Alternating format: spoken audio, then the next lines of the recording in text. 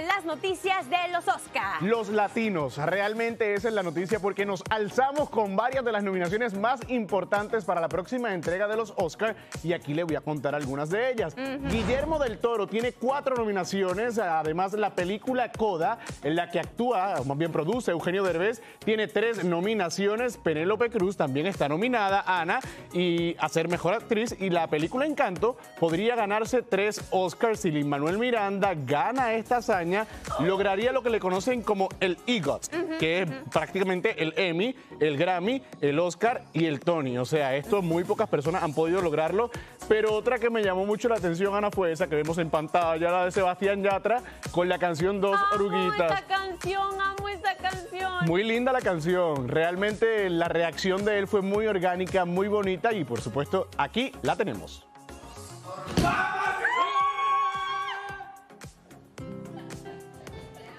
Y con la canción de fondo, Ana de la Oruguita, la verdad que me da mucha alegría verlo ahí porque esto es realmente un gran logro, Ana.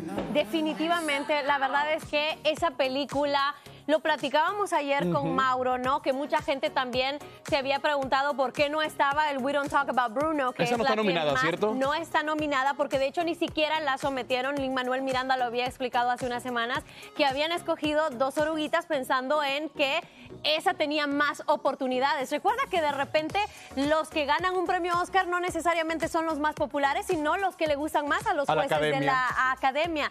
Pero el hecho de ver a Colombia ahí representada tan bien, una película que es un fenómeno mundial y por supuesto también, o sea, Guillermo del Toro ya había ganado en 2018 con The Shape of Water, podría hacerlo una vez más. Y Coda, me encantaría. Coda, Ay, Coda. sí, ojalá por Eugenio Derbez. Muchas Por personas se preguntan, Derbez. obviamente, si el premio iría a Eugenio Derbez. Sí iba a Eugenio Derbez porque es parte de los productores y ya con eso, pues simplemente va automáticamente Sí. a la lista. ¡Qué emoción! ¡Arriba los ¡Eso! latinos!